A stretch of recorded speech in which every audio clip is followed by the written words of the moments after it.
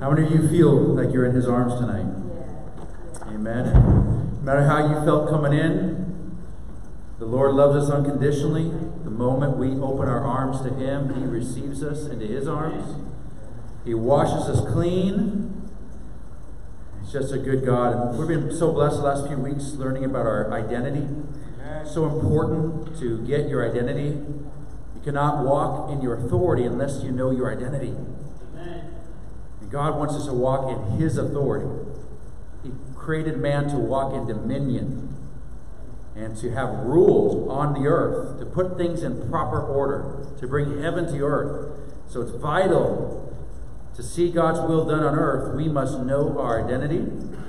And so um, is going to be teaching part three tonight. We will then take a break for a week. And um, next week we'll have a guest speaker. He's not total guest because he's been here before. His name is Matt Burris. He's a ministers in a prophetic evangelism gifting, and uh, he'll be here with us. Excellent, awesome dude. Very like dude kind of guy. It's fun guy. So that'll be next week, and then Joel will start right back. Three more lessons March in the second, third, and fourth week of March. So let's just welcome Joel Eugene.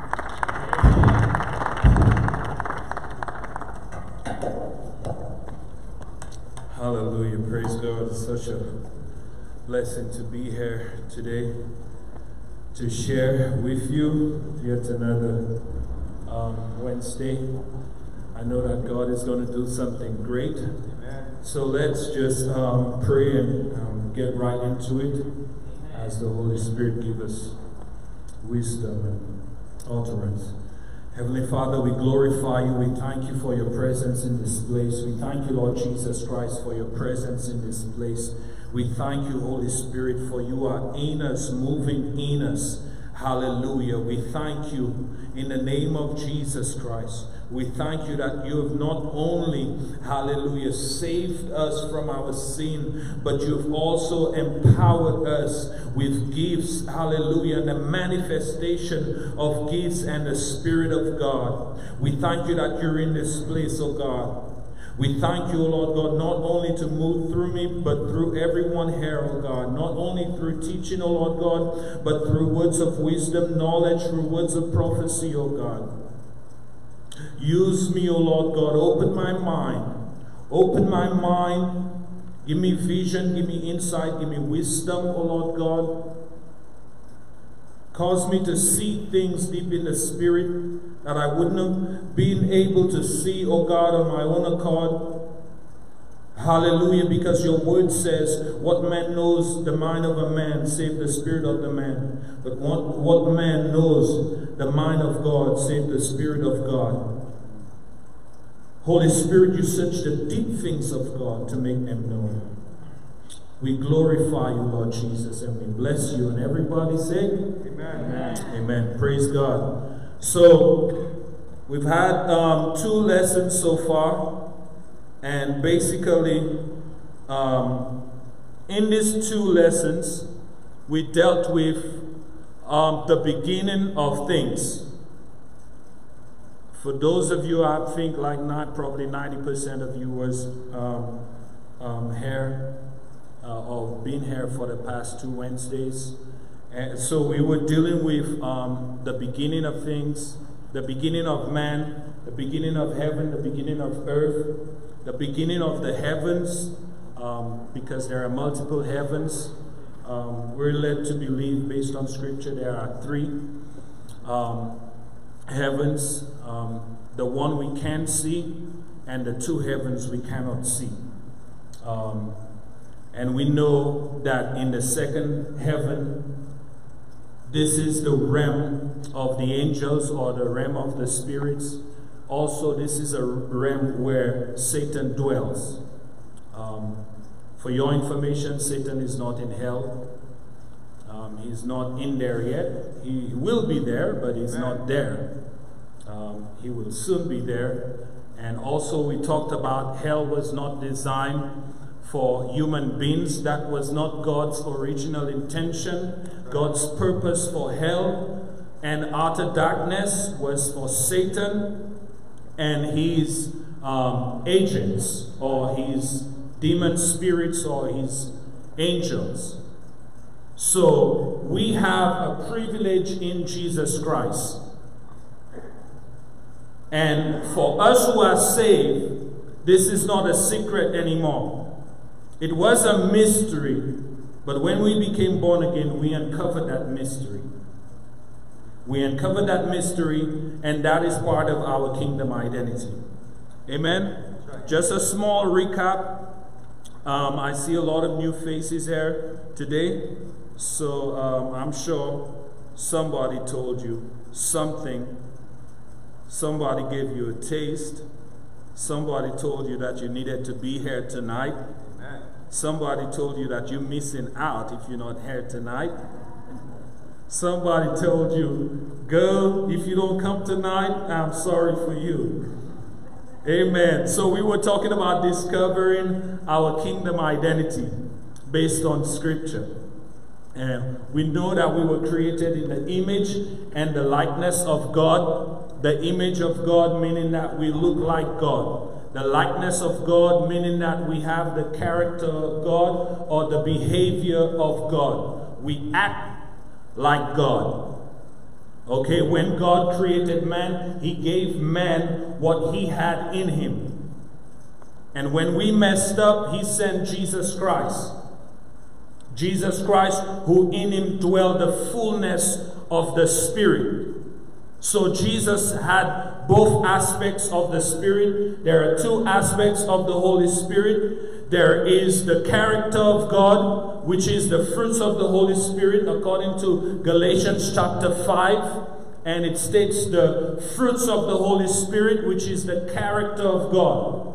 Because in Romans chapter 14, what does the Bible say? The kingdom of God is not of meat or drink, but of Righteousness, peace, and joy in the who? In the Holy Spirit.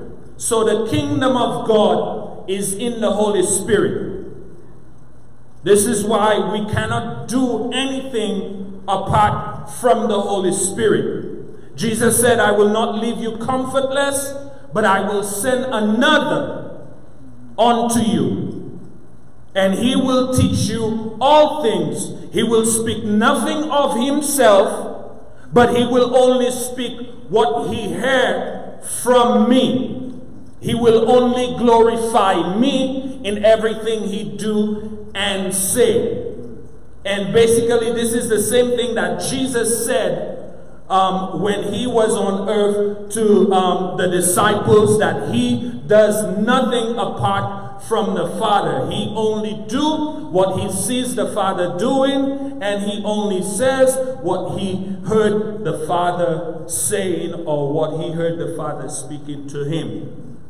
So we have to understand that without the Holy Spirit, we're nothing. If you don't have a relationship with the Holy Spirit, you need to start now. This is not a message of condemnation. If you don't have one, you need to find one.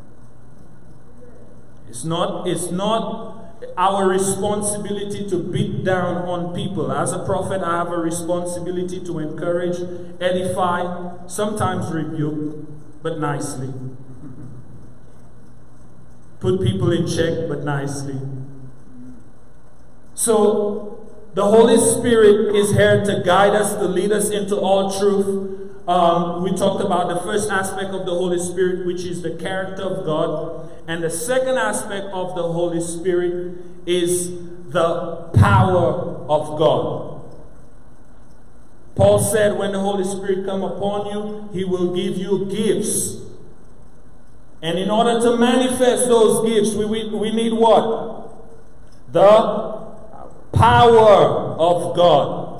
You cannot manifest a gift without the power of the Holy Spirit. This is the second aspect of the Holy Spirit, the power of God. Every single one of us here have been given gifts. The Bible said the gifts of and callings of God are without repentance, meaning that God don't take them away from you. Some people operate in the gifts even living in sin, some people do operate in their gifts. because the gifts and the callings of God are without repentance. That doesn't mean you're good with God or you're hearing clearly, but you're still operating. So that, that is the power of the Holy Spirit.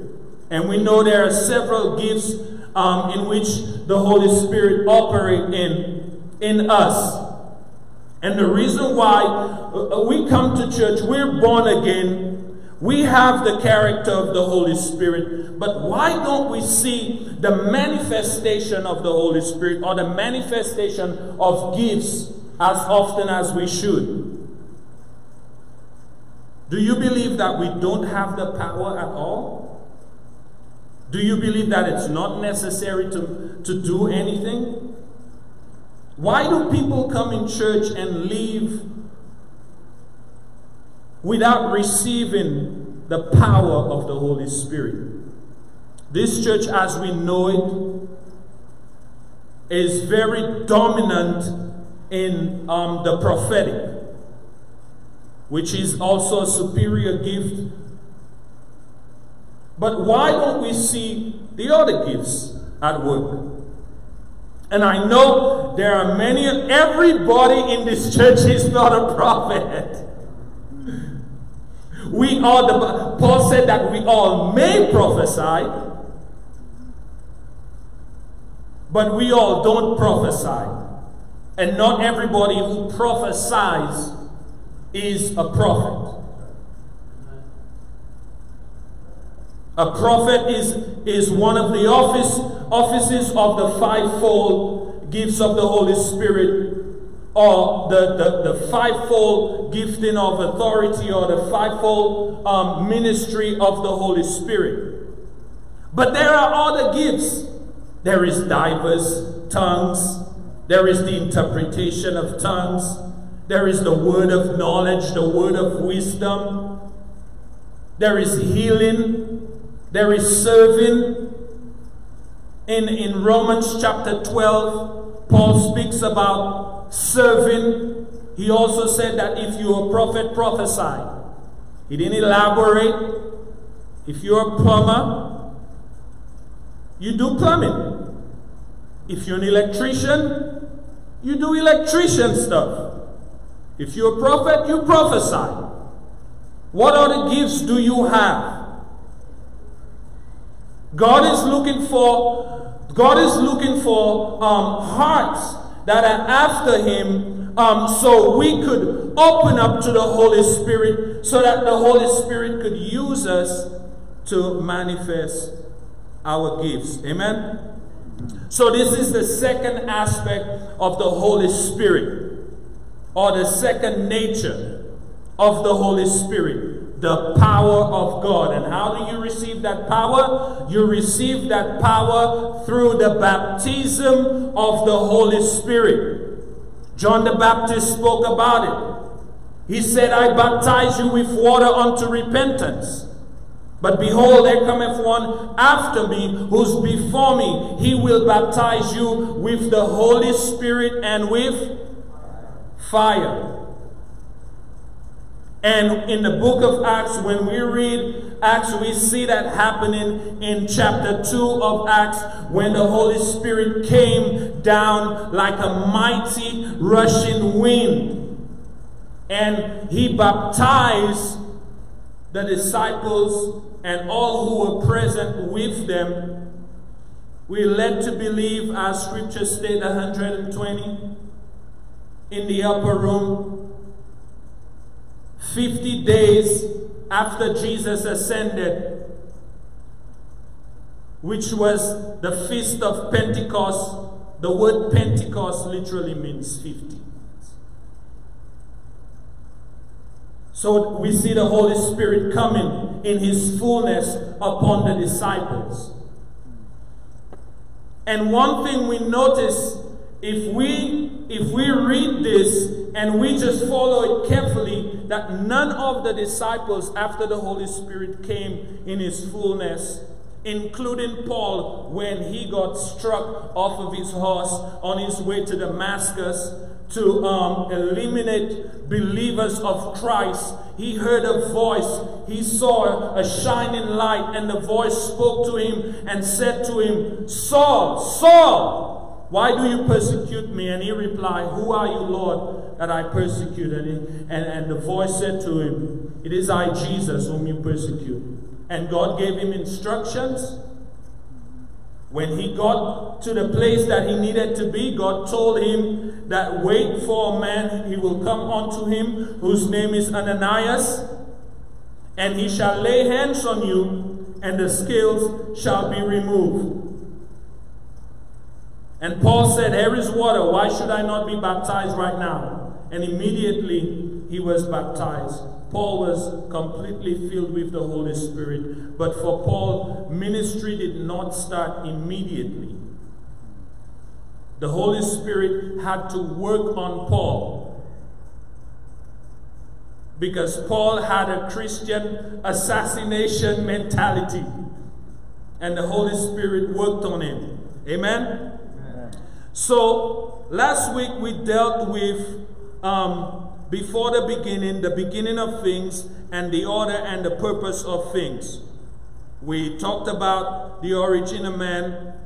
We talked about the origin of the earth. We talked about um, the authority of man in Christ or in God. We talked about the glory of God. We talked about um, when Adam and Eve were in the Garden of Eden. The, Bi- the Bible said that God created the earth and he, in, in, when he created everything eastward of the garden was Eden, and he placed man in there.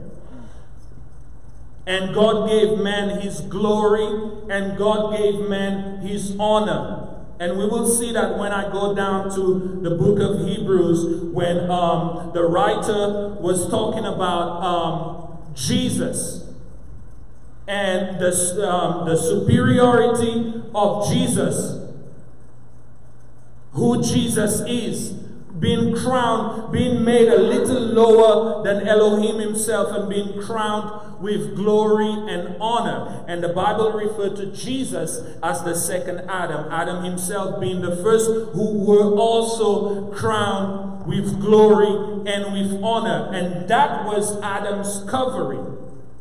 We talked about when Adam ate of the tree of the, the, the, the of, of, knowledge of, of, of good and evil.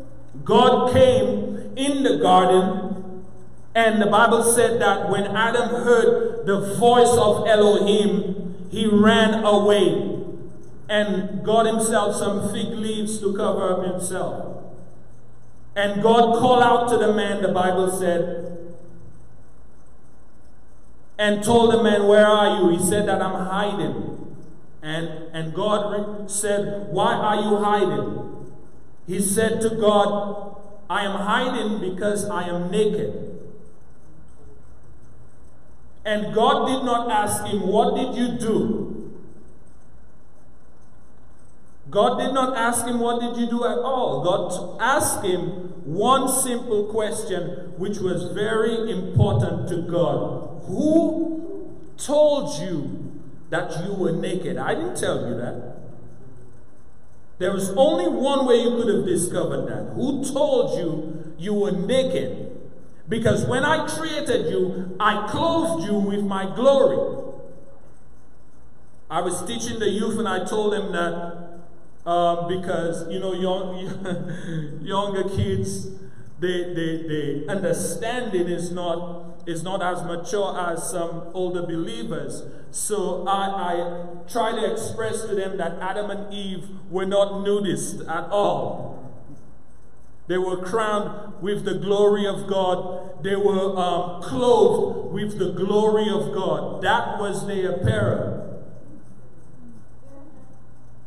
They were laughing. They thought it was um, funny um, because Adam said that um, the Bible never talked about clothes in the Garden of Eden. Um, and all of a sudden, Adam realizing that he's naked, meaning that he probably had some clothing, but God never talked about giving Adam clothes. He probably did, which was the glory of God. So when that happened, he ran. and he hid himself from Elohim. The Bible said that he heard the voice of God and he hid from the presence of God. The Bible referred to the presence of God as having the, the fullness of joy, and at his right hand there are pleasures forevermore.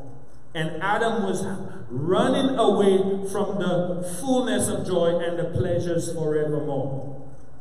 So God clothed, uh, the first thing God did was clothe Adam.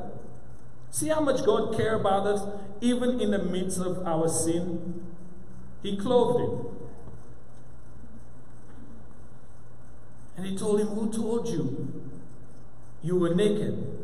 And Adam did one thing. We could read it in, in, in Genesis um, chapter 3. Adam did one thing. Genesis chapter 2, um, going towards chapter 3. Adam did one thing.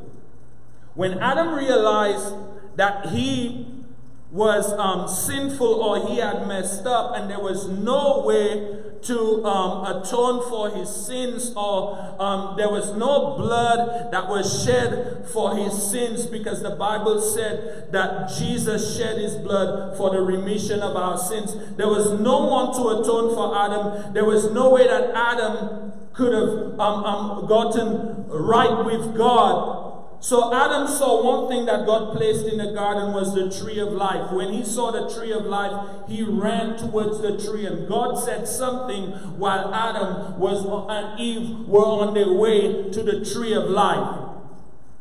The Lord said, Let us stop them, for now they are like us. Knowing the difference between good and evil. So God caused cherubs to protect the tree of life with flaming swords. You know what would happen there? Adam would have eaten of the tree of life. Adam was very smart. He said, You know, I messed up. God will not forgive me. There's a tree of life. If I eat from that tree, I will be fine. I will know good and evil. I will still be sinful men, but I will have eternal life. And God said, Not happening on my watch. Because God said, I had a plan, you messed it up, now I have to create a new plan. And with God, nothing is new. Because God already made everything before the foundation of the earth. So there is nothing you could do or say that will surprise God. This is why on Sunday, when the Holy Spirit gave me this word from Ephesians chapter 1 about um, God creating us before the foundation of the earth and blessing us with everything. And that doctrine there in Ephesians chapter 1, which is predestination, it's also called the doctrine of election meaning that you're saved and you cannot be unsaved.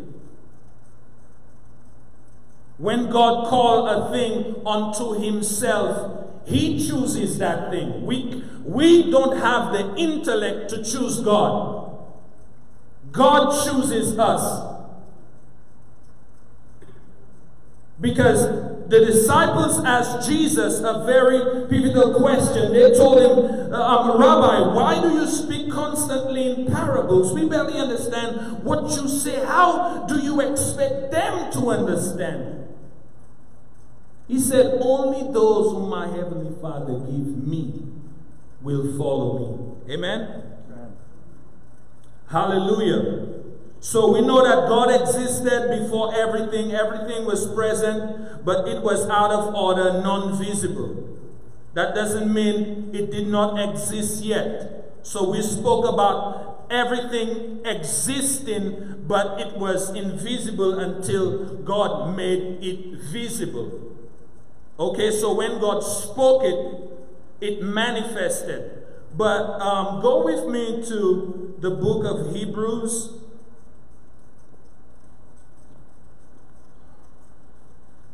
Chapter 1. When you dare say amen, if you're not there, say wait.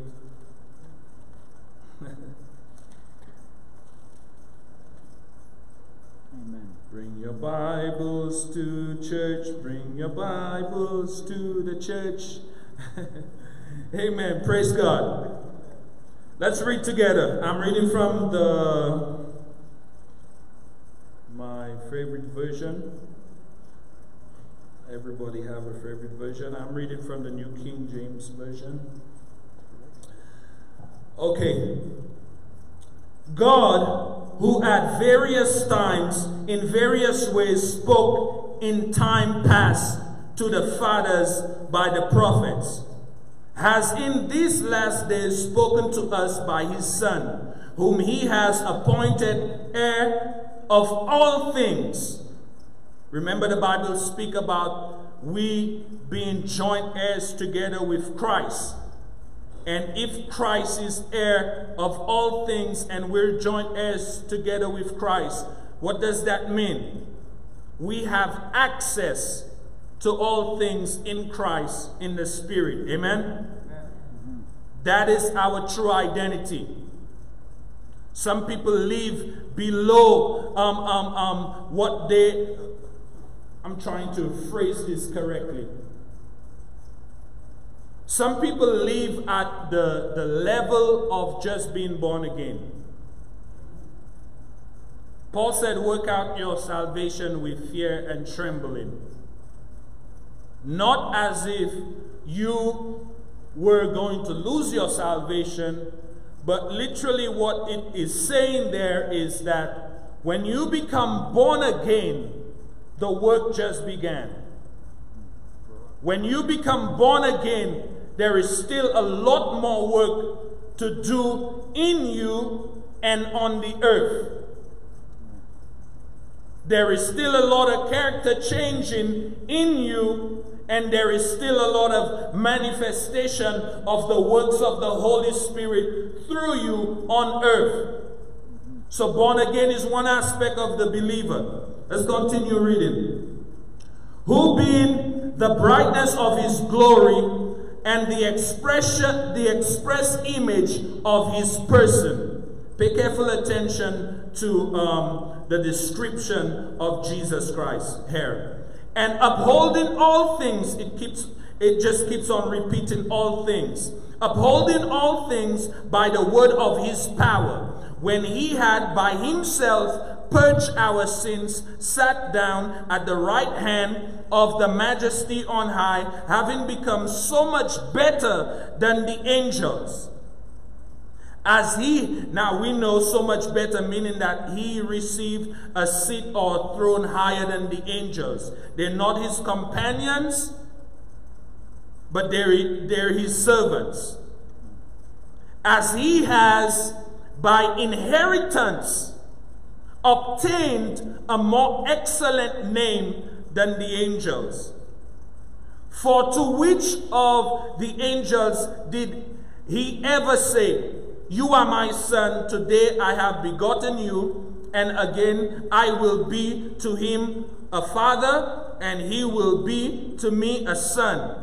But when he again bring the firstborn into the world, he says, Let all the angels of God worship him.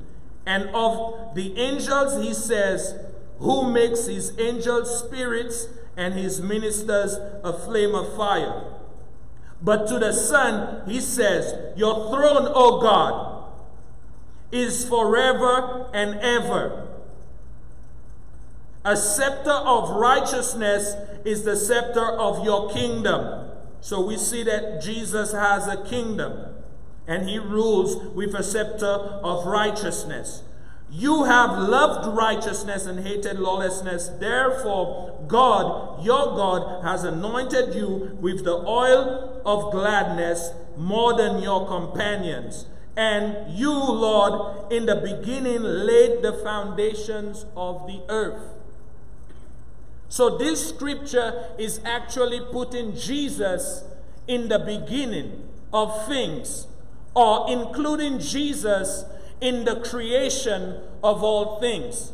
It says there, You, Lord, in the beginning laid the foundation of the earth. and the heavens are the work of your hands.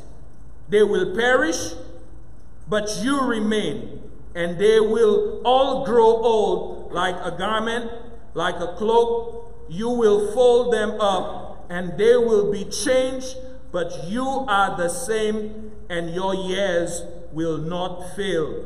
But to which one of the angels has he ever said, Sit at my right hand till I make your enemies your footstool? Are they not all ministering spirits sent forth to minister to those who will inherit salvation? Amen? Amen? So we see the supremacy of Christ in this scripture. And this is just only one portion of scripture that exalts Christ to the place of um, um, King of kings and Lord of lords, seated at the right hand of God the Father, making the angels his servants and not his companions. Also in Colossians chapter 1, it speaks of Jesus' supremacy, um, saying that Jesus is the very manifestation of God or the very image of God. So when we when we went through this, there were a lot of things that just blow out to us, that just popped out of the scripture. Not only it's speaking about Jesus' supremacy and his inheritance and his kingdom, but also if we are joint heirs together with Christ, that means that we don't only have access to this. It's like you, it's like you owning a pantry in your house and you have kids in the house. All your kids have access to the pantry. They don't have to ask you, Mommy, can I take this? Unless you tell them, don't take anything without asking me. But the kids know by right as your children that they have access to the refrigerator, they have access to the pantry. They could eat whatever is there because you went out and you worked and made sure that they have everything they need. This is what Jesus did on our behalf. When the angel visited Mary and told Mary that you will be with child. And Mary said, How can this be? I am but a virgin. I've never been with a man. The angel said, Don't worry. After the Holy Spirit have come upon you, you shall be, um, you shall conceive and bring forth a son, and you shall name him Yeshua. And the, hope, the, the angel told Mary who Jesus will be even before Jesus was born. And Jesus' is rank before Jesus was even born, naming Jesus king and the government of this world being on his shoulder, came to set his people free. He originally went to the house of Israel, but when he was rejected, he prepared for himself a bride. And we, Paul said, we have been engrafted to the branch or to the tree, meaning that we are um, being saved as Gentiles, being grafted to the tree, the original branch. God prepared for himself a bride. And if, um, for all those who are married here, we know, all know about marriage, how relationship works. When someone is married, both parties have equal access to anything, bank account, anything. Anything that belongs to one person belongs to the other, equally. Some people don't, not everybody believe in that way. Some people sign um, what's it called, a prenuptial agreement. I call that the selfish agreement. Because if you are in Christ and you have purpose in Christ, I don't want to offend anybody, especially those who are watching live on Facebook. I don't want to offend anybody, but I'm just saying that for those of us who are in Christ Jesus, I'm referring to those of us who are in Christ and we are married in Christ with the perspective of Christ in our relationship. That we don't go into a relationship thinking selfishly. We go into the relationship knowing that what, what is mine is hers, and what is hers is mine. Shared bank accounts. Shared bank account. That's the intention. And the Bible never said, um, for this day a man shall leave his, his uh, um, um, mother and father and cleave unto his servant. Your wife is not your servant, you are not your wife's supervisor. Some men behave like supervisors. Why don't you do, why don't you ask me before doing this? Why don't you? If you're in a relationship, there's supposed to be a mutual agreement. We call the bride of Christ for a reason. There is a mutual agreement. When we come to that understanding of that mutual agreement, that place, because if you realize what Jesus um, has been doing is trying to frame our mind to a place where we become unselfish in renewing our identity in Christ. The regeneration process is when one one thing who were uh, uh, who, who, one thing who was at one time um, um great um fell away, and Jesus saying, "I want to make it great again." That is the purpose of regeneration. I was speaking to a friend of mine and I told her that when Jesus was on the cross, he said one, one of the most important things that could have ever, um, um, uh, that, that uh, one of the most important statements that could, he could have ever made on that cross. He said, It is finished.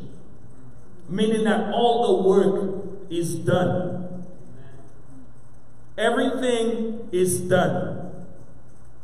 He went to hell. He went to um, Sheol and he took the keys of death and Hades. In the Garden of Eden, death was present as a spirit, but death had no power. God created death because God told Adam, The day you eat of the tree of the knowledge of good and evil, you shall surely what? You shall introduce death or give death power. But Adam himself did not die. He was still in operation, but what he did, he activated death and gave death power to act. That's why um, the Bible says that um, um, to live is Christ and to die is gain. When we are in Christ, we are we are we we deactivate death in Christ Jesus. Death have been swallowed up. That's why I was listening to Dr. Myles Munroe and, he, and um, he was talking about things that Satan does not want you to know. The Bible says that death has no power over you whatsoever. You what, that's the least of your worries. That should death should be the least of your worries because it has no power over you whatsoever. Because of the Spirit of God that lives in you, that have come to revive you, not only your spirit, but also to give you the boldness of God.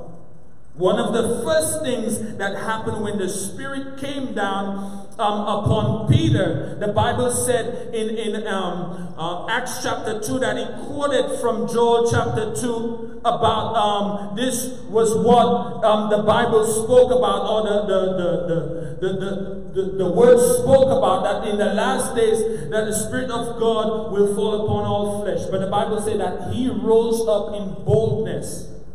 One of the first things that the Holy Spirit gave him was boldness. Because he struggled with that timidity. But as soon as the Holy Spirit came, it resurrected him. Things that he, he never knew that was inside of him came alive. And not one time Peter struggled with his identity or who he was. Not because he was one of the disciples or he was with Jesus from the beginning to end. But when the Holy Spirit comes upon you, things change. When the Holy Spirit manifests itself in you, things change. You will never be the same again. I have two minutes to wrap this up, and I just want to make this statement here today that our identity is in Christ Jesus. Our identity is hidden in Christ. And the person who brings out our identity is who? The Holy Spirit. But why do so many people still struggle in the areas of their identity?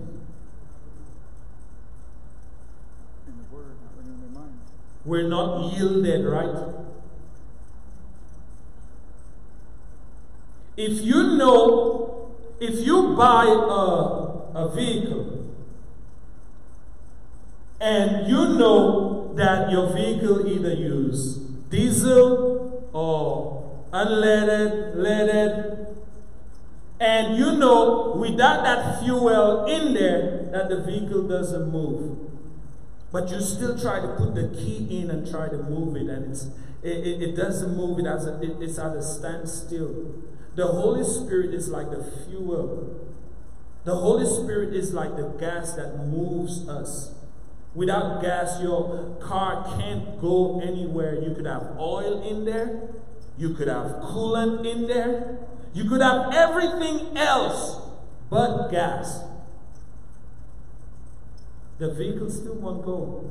And you will try to start it and start it, but it just won't start as it should. The Holy Jesus said, I give you another comforter. Some people place more emphasis on Jesus and they place little to no emphasis on the Holy Spirit whatsoever. And Jesus said, It's more profitable for you that I leave. Because the one who is coming after me will teach you all things. There is nothing hidden from us as kingdom people. There is nothing hidden from us as children of God because the Holy Spirit's responsibility, and that is a command from Jesus, that is a promise from Jesus. Jesus said, when He comes, He will teach you all things. And he also called the Holy Spirit the Spirit of promise. That statement means that the Holy Spirit's mandate is to make sure that every promise of God is fulfilled. And the way we see the fulfillment or the manifestation of God's promises is by being yielded to the Holy Spirit. Amen? Amen. Let's stand tonight. Praise God. I hope you were empowered tonight or you learned a little something that you may um, not have known before. Um, last class, we had a wonderful time.